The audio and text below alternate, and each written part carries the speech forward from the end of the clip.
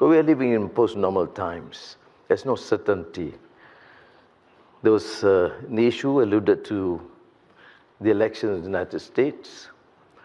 But even then, whoever wins, whether Biden or Trump, the policy is still uncertain because leaders would decide based on the economic imperative and national interests.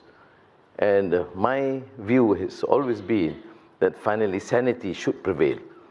But for us in the region, as we have alluded to earlier, our focus must be ASEAN cohesiveness to strengthen ASEAN as a, ASEAN as a formidable economic force.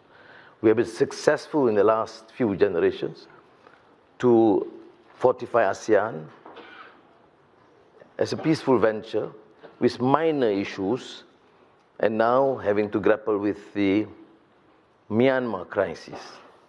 But the way forward for ASEAN is to enhance its collaboration in economy and trade and forge greater economic alliance with Japan, Korea, China, Australia, India, meaning the focus on the region.